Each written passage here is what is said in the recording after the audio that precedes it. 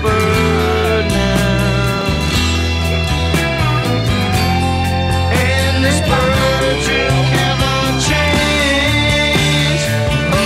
guys, so I'm currently in my hometown. Saturday, and I just.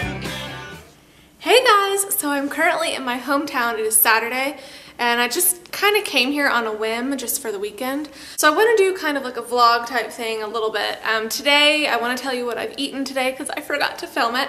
But I woke up and I drank a ton of water.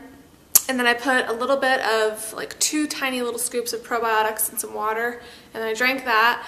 And then a couple hours later I had some raspberries, a little bit of blueberries, and some mulberries. And that's all I've had today.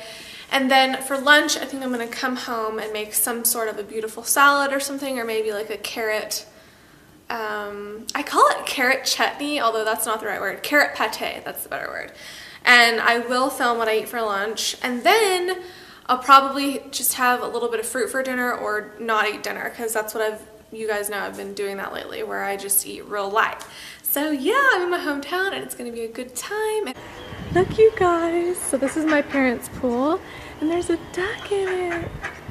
So, oh, there he goes. oh my gosh. The things that happen.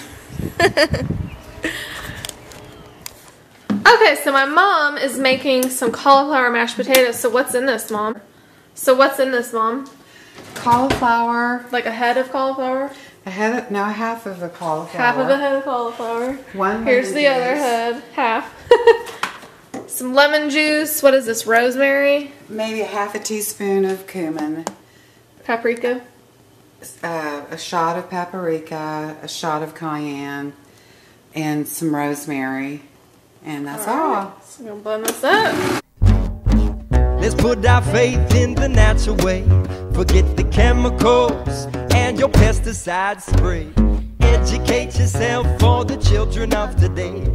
Food grown organic and pure will always be the number one cure.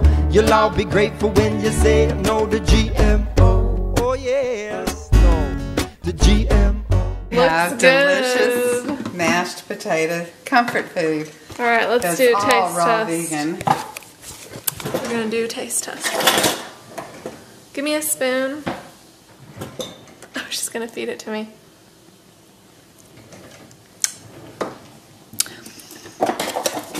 Very interesting taste. What's it? It kind of does taste like mashed potatoes. That's crazy. Like I can kind of taste mashed potatoes in that. But I do want it thicker, so you can't put too much lemon. It's very thick to me. That's crazy. That tastes like potatoes, and there's no potatoes in that. How do we make that taste better though? Look, It's you not too much lemon. I think it's good. Please have half of it. I can't eat it all. Try it out, you guys. hey guys! So I asked my mom to film me real quick. I'm making my lunch, and this is a big old bowl of zoodles. So I'm spiralizing. This is my second zucchini. If you guys do not have one of these spiralizers, I mean, a ton of people have these. Even when you're not in the raw community, people are really loving zoodles. I'm to spiralize this. And when I finish doing that, in here I'm making my salad dressing. This is a mango, some chia seeds. I'm about to put some tahini. Um, there's a little bit of red pepper in this, a little bit of cayenne. I have to put apple cider vinegar. And then whatever's left from spiralizing the zucchini, because you get little pieces, I'm to throw that in there, blend it up, and then I'm going to have zoodles, and then over there I have a head of butter leaf lettuce that I'm going to dip into the excess dressing. Okay, so you get that. But over here, this little container, if I can open it, see these little weird looking zucchinis? I'm going to dump that in here just to use them. And then, yeah. So I'm adding some tahini in this right now. I added about two tablespoons. And now I'm going to blend it all up. I don't like to blend things too long, so that's it. So now, look at that creamy deliciousness. Now, I'm, is this clean? Yeah, it was yours. So now I'm gonna pour a little bit of this. Not much, that might have even been too much.